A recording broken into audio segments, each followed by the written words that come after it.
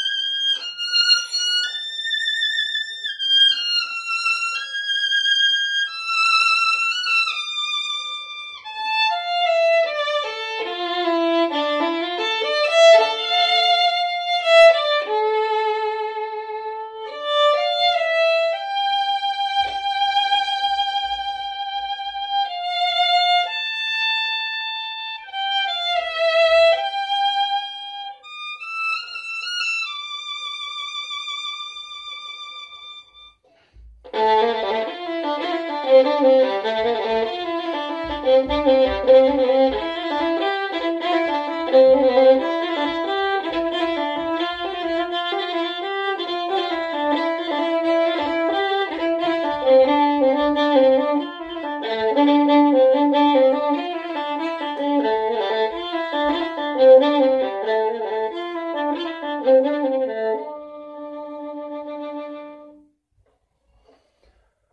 added a few little things in there, but now we'll play through it a little slower without repeat, and I will follow the music more closely.